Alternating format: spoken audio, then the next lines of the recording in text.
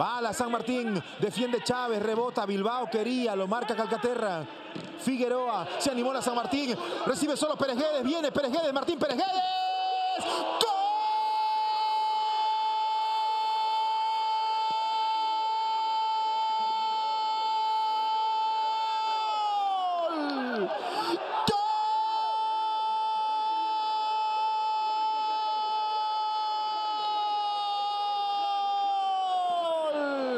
de la Universidad San Martín.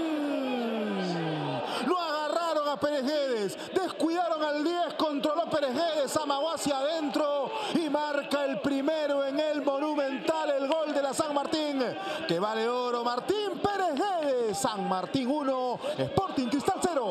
Y es el que tira al centro, viene el despeje, gana bien González. En zona de rebote, otra vez, quien gana Bilbao. Aparece Calcaterra y la mete Figueroa solo, Perejedes, ¿no? Que era había quien había iniciado la jugada. Él había devuelto ese centro al área y después se toma un tiempito más dentro del área. Ese tiempito que se toma muy pocos, ¿no?